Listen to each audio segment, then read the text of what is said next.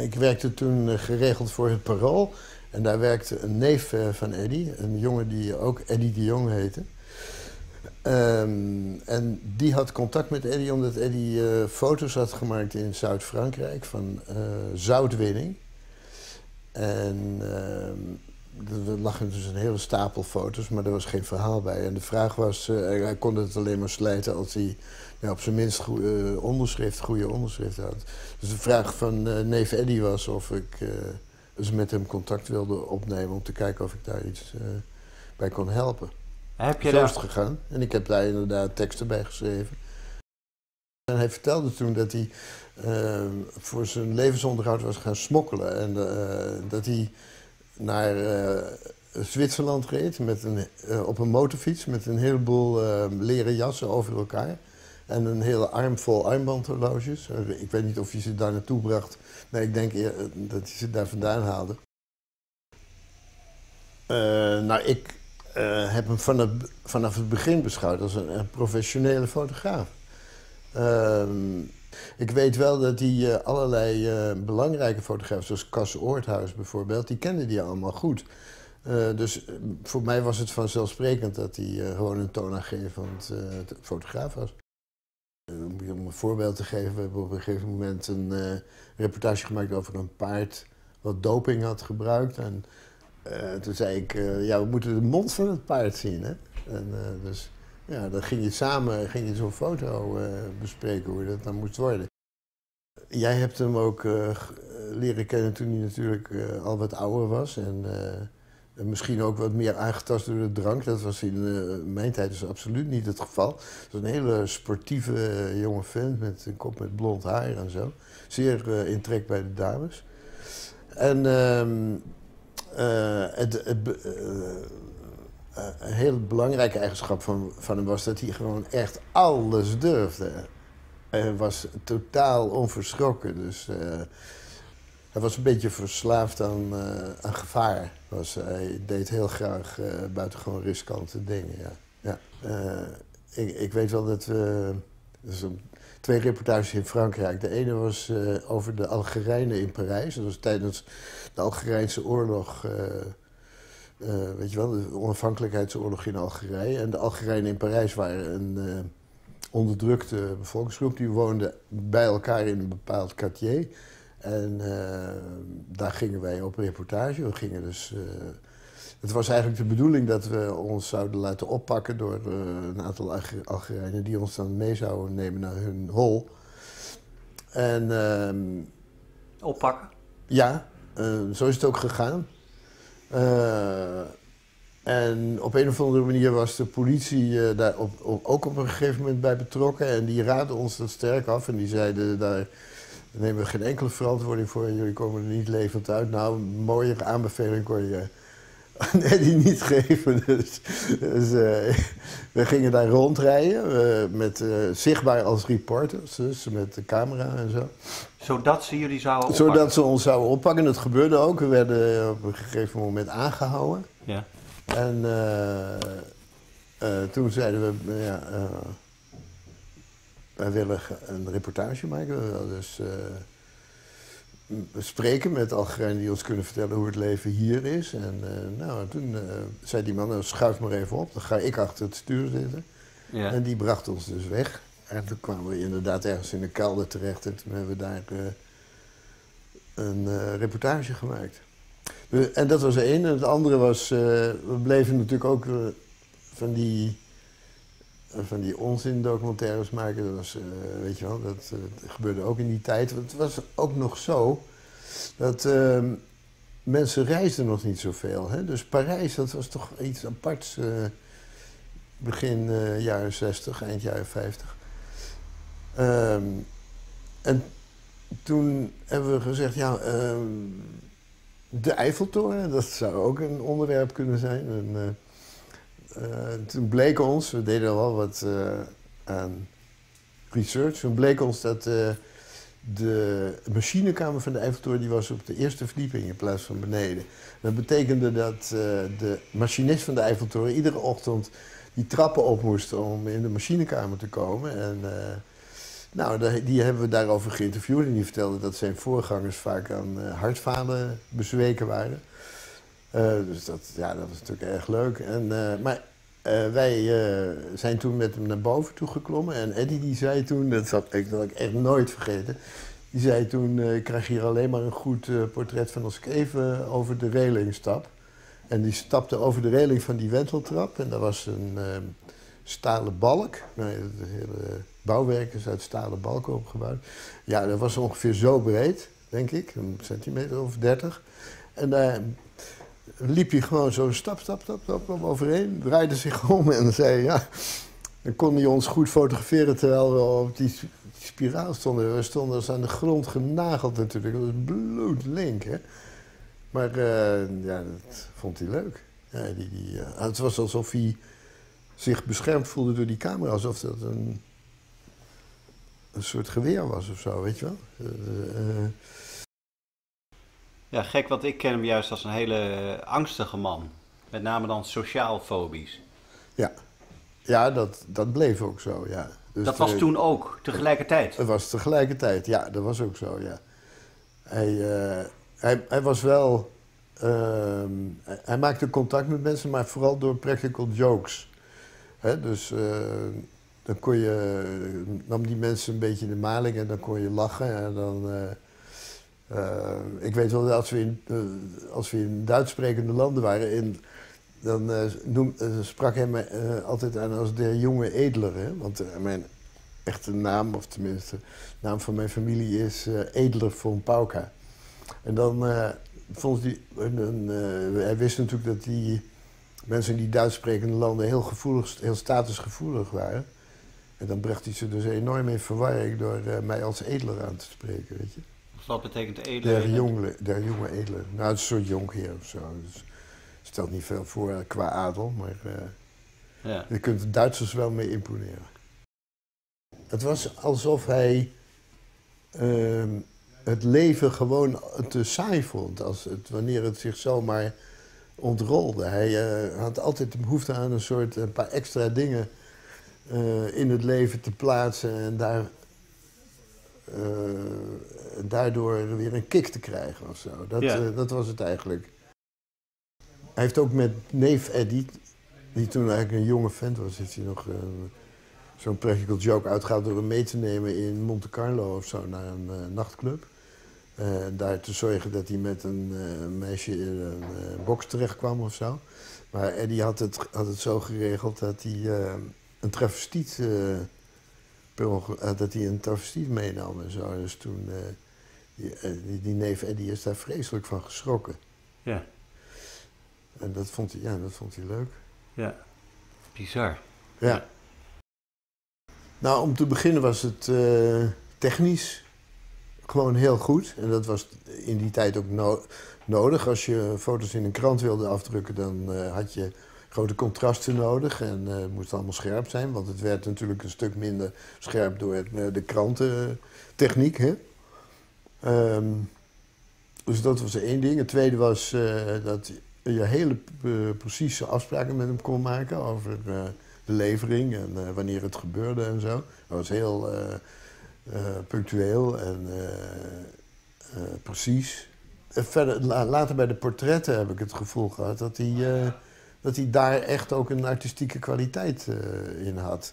Maar zonder dat ik dan precies kon zeggen wat dat was. Maar ik had wel het gevoel dat, dat de mensen zo geportretteerd werden als ik ze ook echt zag zelf. Ja.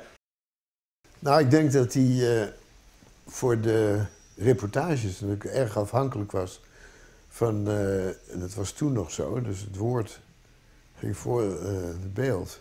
Erg afhankelijk was van iemand die reportages bedacht. en, en ja, die daar, daar leidingen in nam. Ja. En als dat. En op een gegeven moment was het bij mij voorbij, want ik ging gewoon andere dingen doen. En ik denk dat hij vergeefs heeft gezocht naar zo'n ander maatje. Ja, ja, oké. Dat denk ik. Ik denk dat uh, die portretten uiteindelijk een, uh, een mogelijkheid voor hem waren om door te gaan met de fotografie. Juist. Wij speelden een competitie midget golf, Eddie en ik. En dan eh, hadden we de gewoonte om niet meer dan één wedstrijd in ieder land te spelen. Dus zo, uh, zo snel reisden wij rond. Hè. Ehm, manier van werken bij die reportages was uh, dat we een vaag idee hadden over één of twee onderwerpen die in een bepaald land speelden. En waar we. En, da, en, verder, dat we, als we in dat land waren, dan uh, lazen we de krant en uh, keken we wat actueel was en daar gingen we dan op af. En soms waren dat kleine onderwerpen die een potentie hadden om een beetje groter te worden. Hè? Bijvoorbeeld, op een gegeven moment lazen wij dat een van de instituten in Hamburg ehm, had ontdekt dat de termieten in, in Hamburg aan land waren gegaan van een houttransport afkomstig uit de Verenigde Staten. En dat, uh, uh, nou ja, dat iemand zei, dat is wel een reëel risico. Dus toen gingen we die uh, persoon opzoeken. Dat was dus een termietkundige. En die schetste wat er allemaal afspeelde in de Verenigde Staten en in Canada op het gebied van termieten. En dat dat toch uh, ja, de onvermoede risico's voor Europa in zich droeg en zo. Dus eh, dat werd dan ja, heel erg uitgewerkt. En daar, daar, hebben we, dan, ja, dat werkten we een, een of twee dagen aan en dan gingen we weer een ander onderwerp zoeken. Dus hij was niet een brutale persfotograaf. Integendeel. Kijk, je bent dan in zulke situaties ben je echt met z'n tweeën. Hè? En de persoonlijkheid van die andere is ook als ik mensen zit te interviewen, is het toch die, de persoonlijkheid van die andere aanwezige is van belang. En dat was, Eddie was altijd een ondersteuning daarbij, weet je. je... Eh, ja, denk je dat, dat, dat fotograferen voor hem een passie was? Uh, ja, absoluut. Hij uh, vereenzelvigde zich uh, met dat vak. Hij was gewoon 100% fotograaf. Het was zijn identiteit. Die, uh... En hoe merkte je dat dat zo diep in zijn aderen zat? Nou, omdat hij nergens anders over sprak eigenlijk. Iedereen had het over de bruine Volkswagen, maar er was een egale laag van roest over die auto. En uh, ook wel uh, op, met een eend, die was voor mij. Die was ook wel handig om te fotograferen, want die kon je helemaal uitkleden. Dan werd het een soort rijdend platform. Er zat alleen een stoeltje voor de,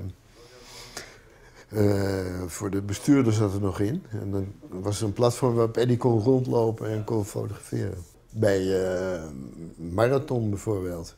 Dan reden we tussen de deelnemers.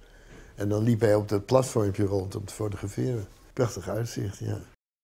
Ik vond uh, ook toen dat hij erg dicht op, de, op de mensen zat. Hè? En het andere is natuurlijk dat hij nooit bang was. Dus dat, uh, dat is natuurlijk wel handig als sportfotograaf. Dat uh, ja. motorfietsen en auto's langs je heen suizen. En, uh, wij waren veel minder de echte verslaggever en veel meer degene die verhalen vertelde om het gebeuren heen. Ik heb toen nog een boekje uitgebracht waar Eddie ook voor gefotografeerd heeft. Sport gewoon en ongewoon bij Meulenhof. Ja. zie je ook hoe die uh, hoe die probeerde om die uh, ja, dicht in de buurt van die sportmensen te komen. Hij, was, had niet een eigen, een eigen opvatting. Hij probeerde de opvatting die de journalist had zo goed mogelijk te volgen. Ik kan me, dat kan ik me heel goed voorstellen, ja. Ik heb ook van hem geleerd dat je toch dat je hele goede uh, foto's met, met, grote zachtheid kan maken als je, als je flitst.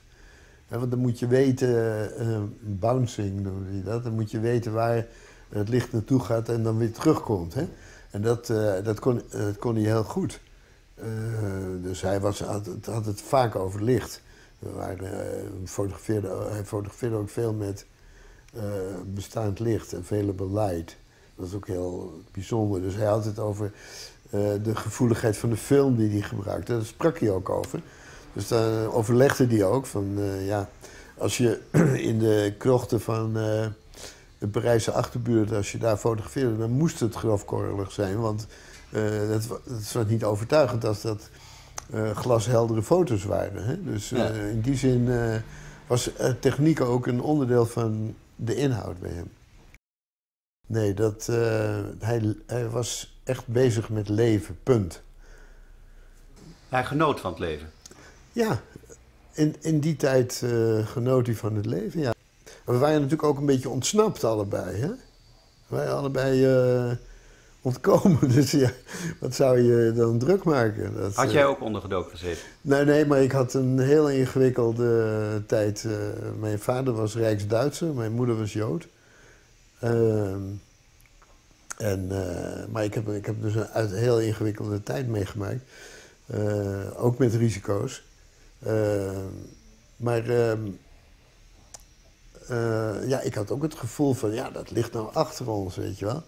Daar hebben we het nog wel eens over, maar we waren bijvoorbeeld ook allebei, dat, vind je misschien gek, maar we waren ook allebei absoluut niet rancuneus over, de, over degene die in de Tweede Wereldoorlog aan de andere kant van uh, de streep stonden.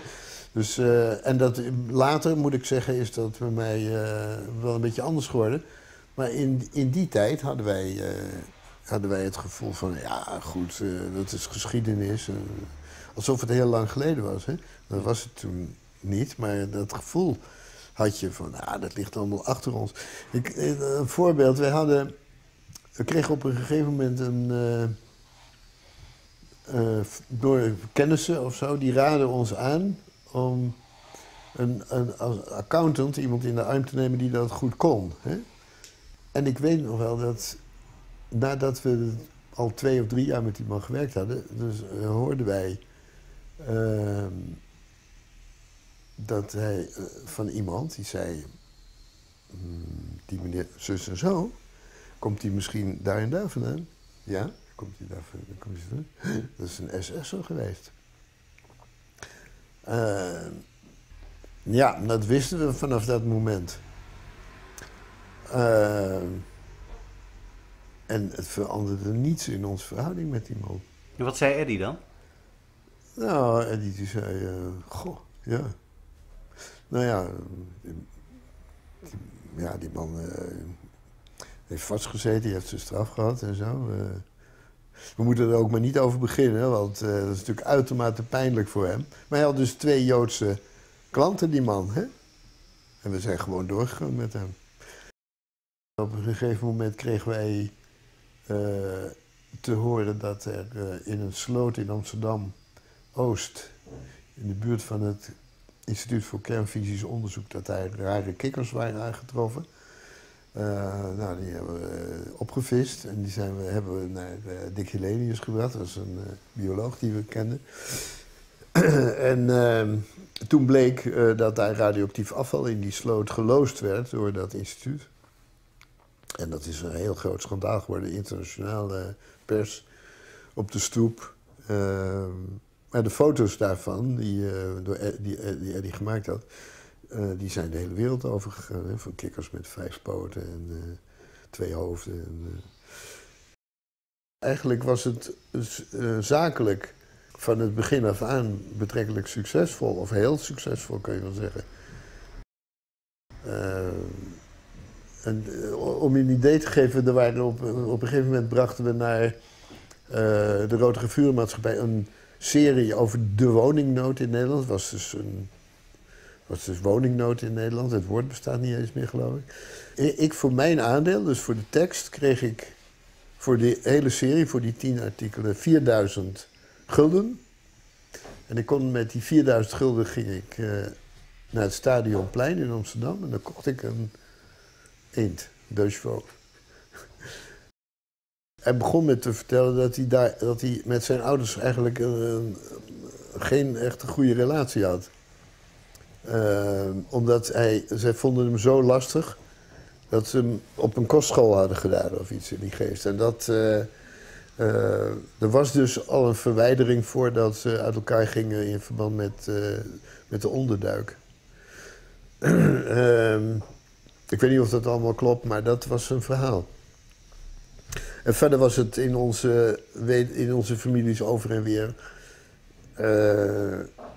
Was het gebruik dat die eh, mensen werden vermoord. Dat was bij mij ook zo. Mijn grootouders waren ook vermoord en die, een hele eh, familie die daar aan vast zat. Zo, dus ja, dat, dat hoorde. Dat was de periode die afgesloten was en die achter je lag. Zijn, zijn onderduiktijd, heeft hij daar wel eens iets over gezegd? Ja, daar heeft hij wel eens over, over gepraat. En ook vooral in eh, vrolijke termen. Dat die bij een zeer gelovig eh, gezin ondergedoken was. Eh, ik geloof een dominee of zo. En dat hij, dat hij zich reuze met de dochter van de dominee geamuseerd had. En dat hij op een gegeven moment zelfs daarmee getrouwd was of zo, geloof ik. Of, iets in, of, of de bewegingen maakte die bij het trouwen hoorden in ieder geval. Ehm, dat soort jongensboekverhalen eigenlijk. Hij heeft ook uh, verteld dat hij een keer op de, in de Euterpenstraat terechtgekomen is. Dat was uh, het hoofdkwartier van de SD, geloof ik in ieder geval. Daar is hij tijdens een verhoor uit een raam geklommen. Op de kinderspeelplaats van de school terechtgekomen. En hij vertelde toen dat hij zich toen realiseerde dat hij die kinderen in gevaar had gebracht. Omdat als ze vanuit een drama op hem geschoten hadden, zouden ze misschien uh, kinderen hebben geraakt. Maar hij, is, hij, hij, heeft weten te ontkomen daar. Een wonder is natuurlijk. Het zal een van de weinige mensen zijn die uit de Eterpenstraat ontsnapt is, denk ik. Ja. ja, in mijn herinnering speelt dat zich af bij een politiebureau en een school in Laren. Oh, oh dat zou kunnen. Oké, maar in jouw herinnering is het uit Terpenstraat? Ja, ja. Nee, ik ben op een gegeven moment zelf bij een uh, uh, psychiater terechtgekomen... omdat ik zelf helemaal gestoord uit die oorlog was gekomen. En uh, ik heb toen ook wel over Eddie gesproken. En ik herinner me nog een fragment van een gesprek met die psychiater over Eddie. En dat ik toen over Eddie zei... Ehm, ehm, ik geloof dat dat een gevoelsarm persoon is. En uh, toen zei die psychiater tegen mij, nou daar zou ik niet op rekenen. Ja, want datgene wat onder de avonturier zat en zo, dat was heel ver weggestopt? Of ja, dat was heel ver weggestopt, ja. Dus met, over gevoelens praten, dat was al sowieso niet de gewoonte uh, in die tijd. En zeker niet tussen mannen. maar dat was ook dat drong zich ook nooit op. Maar hij is later heel veel gaan drinken. Maar hoe kon hij dat in jouw tijd toch allemaal verstouwen als het ware? Ja, het antwoord is door voortdurend in beweging te blijven. Door actie. Op het moment dat dat niet meer kon, omdat hij te oud was of omdat er uh, geen, uh, niet voldoende aanleiding was om het te doen. Ik denk dat uh, toen een eh, zich een soort vacuüm uh, voor hem opende. Hè? Dat hij, dat hij, uh, en dat hij daar, dat met drank uh, gevuld heeft. Ja. Want in mijn tijd nou, dronk hij wel af en toe een borrel, maar dat was absoluut geen... dat had je herkend? Dat zou ik zeker herkend hebben, ja, ja, ja. En we hadden een vriend waar we ook wel mee samenwerken, die ook wel schreef, Jack Kreuner. Ik weet niet of hij nog leeft, maar die, die was wel echt alcoholist. Ja. ja. Hij kon slecht slapen, maar als hij uh, sliep, dan droomde hij dat hij wakker lag. Dus hij had uh, heel heftige last van slapeloosheid, ja.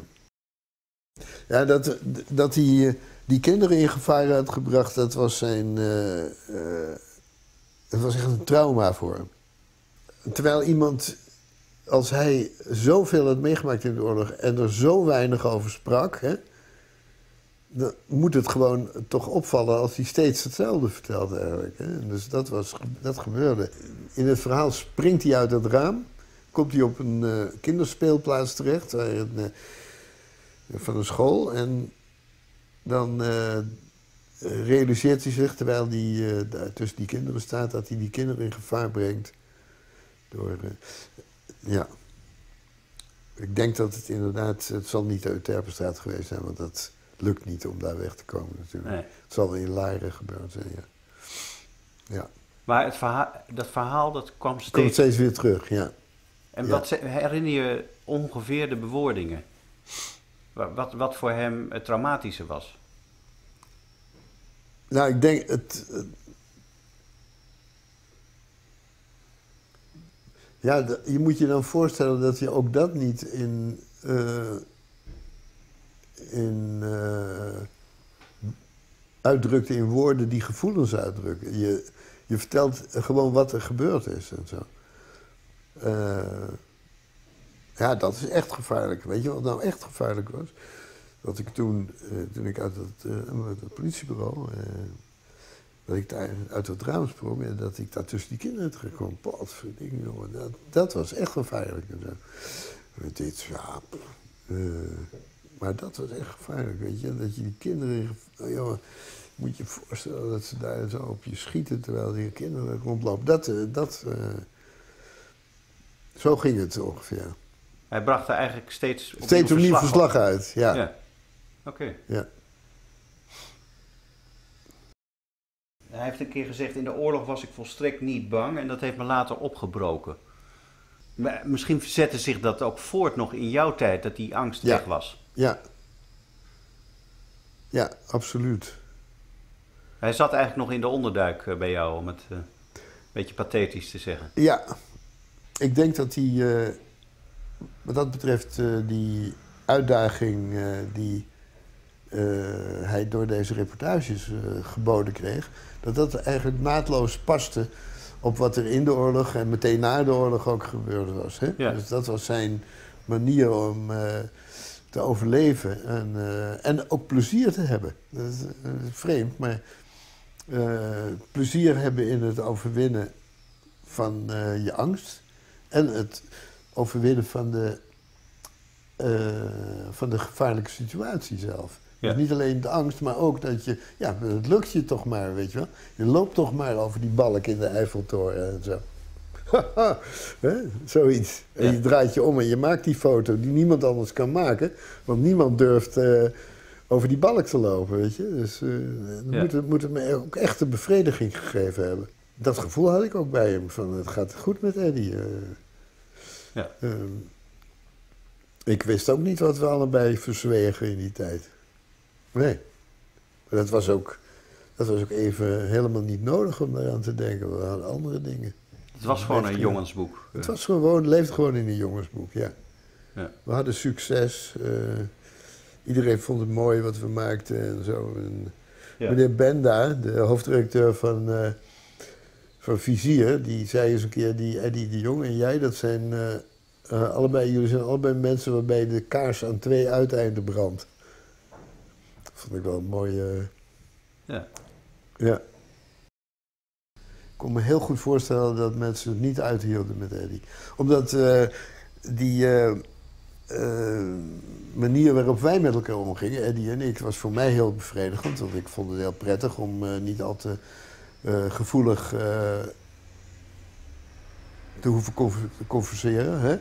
We konden dagen met elkaar optrekken zonder dat er enige diepte in, eh, in de relatie was. Hè? Ja.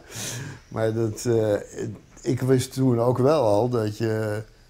eh, dat, dat het met vrouwen dus echt anders moest. Ik denk dat iedere poging om een beetje dichterbij te komen, dat, dat Geert ik, dat, daar het lid op de neus kreeg dat probeerde. Ik vond het een beetje zielig. Ik vond, haar altijd een beetje. eh, ja, ik, vond, ik begreep dat het niet helemaal naar de zin had. Ik, ik voelde dat als ik haar iets vroeg of zo, dat ze iets, dat ze iets over, over haarzelf vertelde, dat het vaak eigenlijk de eerste keer was dat ze het erover had. Terwijl dat, dat hoort gewoon niet, hè? Als je getrouwd bent. Maar ik heb dat ook heel erg bij Eddie gevoeld. En ik noemde dat dan egocentrisme. Had hij eigenlijk wel belangstelling voor andere mensen. In veel gevallen zal die belangstelling er misschien wel zijn, eh, maar kan die niet geuit worden. Maar, eh, en ik denk eigenlijk dat dat het geval is. Heb je Eddie wel eens boos meegemaakt? Nee. Nee. nee. Nadat we ophielden met werken, hebben we nog maar heel weinig contact gehad. Heel sporadisch. Hè? Ja. En meestal eh, liep dat mis, omdat hij dan kort van tevoren werd ik dan gebeld dat hij te dronken was om, eh, om te komen. Dus ik heb hem één of twee keer eh, nog maar gezien daarna. Dus Ja. Zijn ouders vonden dat hij te lastig was en zo. On, niet te handhaven in het gezin en dat, hij, dat ze hem kwijt wilden. Hij waardeerde het niet dat zijn ouders dat gedaan hadden. Ja, dat was in, geloof in zijn vroege jeugd al, ja. Ja, want hij is ook naar kostschool in Engeland uh, ja. geweest. Met, daar had hij Chamberlain dan gezien. Maar was dat ook een wegsturing? Dat waren al bij wegsturingen, ja. Ja? Ja. Dat weet je zeker?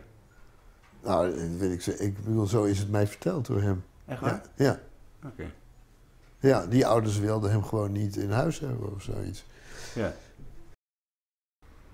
Maar als je kijkt naar Eddie als beschadigd mens, kan je dan nog enigszins ontrafelen wat dan oorlog is en, en die opvoeding en die rare relatie met de ouders? Ja, die was natuurlijk van het begin af aan iemand die zichzelf helemaal uh, moest kunnen redden in allerlei omstandigheden. En dat is gewoon zo gebleven in de oorlog, alleen werd het daar iets heftiger. Uh, uh, maar, maar, ik, maar ik je, heb... zegt, je, zegt, er is dus een, een, een basis van voor de oorlog, oh, dus van je alleen moeten... Moeten redden, ja. Van eigenlijk een soort eenzaamheid. Ja, ja, ja. Dat, dat gevoel heb ik altijd gehad bij hem. Hij is gewoon iemand geweest die uh, er altijd in zijn eentje voor stond. En wat ik met hem heb meegemaakt is de glorietijd van, uh, uh, van hoe hij zich kon redden. Dat was, dat was, ik bedoel, hij werd gewaardeerd, hij deed het goed, hij, hij beleefde heel veel, hij, was, hij had succes. En hij, hij, hij bewees nog eens een keer aan zichzelf en aan de omgeving dat hij niemand nodig had. Hij was absoluut autonoom. Ja. Maar dat kon natuurlijk niet stand houden. Nee, en dat had ook zijn nadelen. Dus kijk naar zijn huwelijk bijvoorbeeld. Hè. Dus die autonomie, uh, daar moet je niet te ver in gaan. Want dan sluit je iedereen buiten verder. Hè? Ja. Um, uh, en het kon op den duur ook geen stand houden. Omdat als, uh, als die hele set van activiteiten waar dat op gebaseerd is en ook de waardering op gebaseerd is. Hè? Maar ook wat je allemaal zelf kan doen. Als dat op een gegeven moment verdwenen is, ja, wat blijft er dan over eigenlijk? Dan, dan sta je toch weer. Dan ben je toch weer dat kleine jongetje wat, wat verstoten is, hè? eigenlijk. Ja. En ik denk dat hij ook zo geëindigd is. Hoe bedoel je dat? Nou, ik denk dat hij in, in in eenzaamheid, maar ook in zelfbeklag. Uh, dat, hij daarin, dat, hij, dat hij daar zijn einde in gevonden heeft. Ja. hij is dus bij het Sinaï opgenomen geworden. En heeft daar heel gek uh, meegedaan met alle Joodse rituelen. Hij had een keppeltje op en zo. En uh, volgens sommigen had, was hij eindelijk, hervond hij zijn Joodse roots. Hoe kijk jij daar tegenaan? Nou, ik denk dat hij zelf, als hij dit verhaal zou horen in mijn tijd, dat hij vreselijk om zou moeten lachen. Dat hij zou zeggen: dan heb ik die mensen toch ongelooflijk in de maling genomen. Hè? Want ze geloofden het echt. dat zou hij gezegd hebben. Uh, iets, iets erg ons soort mensenachtigs, hè? Hadden jullie dat ook samen? Ja, dat hadden wij ook samen, ja. ja. Het verplichte gevoel voor humor. Zeker uh, snedigheid die uh, daarbij hoort. Uh, maar ook relativeren van, je, van jezelf. Ook jezelf in de maling nemen. Wat onder andere bevolkingsgroepen veel minder de gewoonte is. Hè? Dus dat herken je gewoon heel snel in andere mensen. En denk je, oh ja, ja, het zou best eens een Joods iemand kunnen zijn, weet je wel. Ja. Dat was het eigenlijk. Uh, ja, dat ken jij ook natuurlijk. Hè? Ja. ja. Een schuldgevoel, omdat je uh, betrekkelijk toevallig niet hoorde bij uh, degene die vermoord zijn. Hè? Nou, daar heb ik bij, bij Eddie nooit iets van gemerkt. Nee. nee.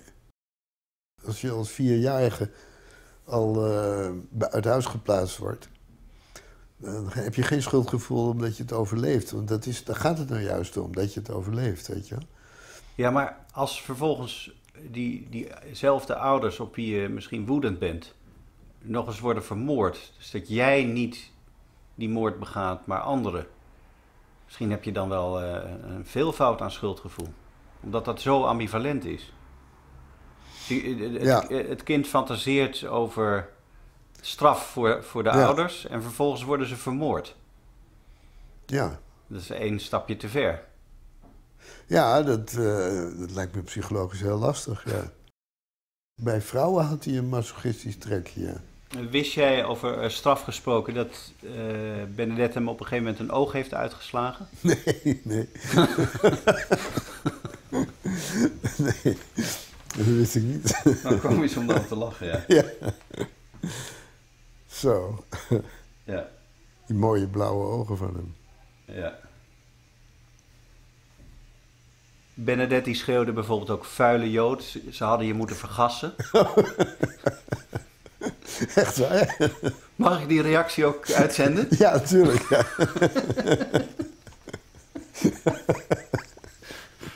Misschien is dit ook zoiets wat alleen joden begrijpen. ja.